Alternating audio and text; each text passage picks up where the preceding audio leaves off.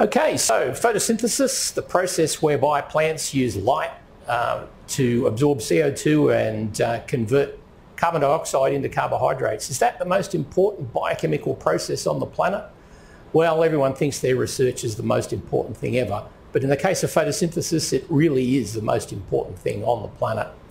Um, take your mind back millions of years to what was happening in the primordial oceans of the Earth uh, long before humans had evolved.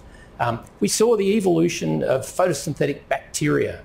Uh, these cyanobacteria uh, produce something that's been essential for all life on Earth, including the evolution of human beings, and that's oxygen.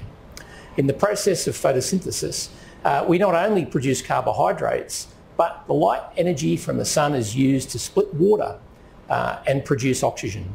And that oxygen um, provides the air we breathe, as well as the carbohydrates um, uh, that are necessary, necessary for our survival.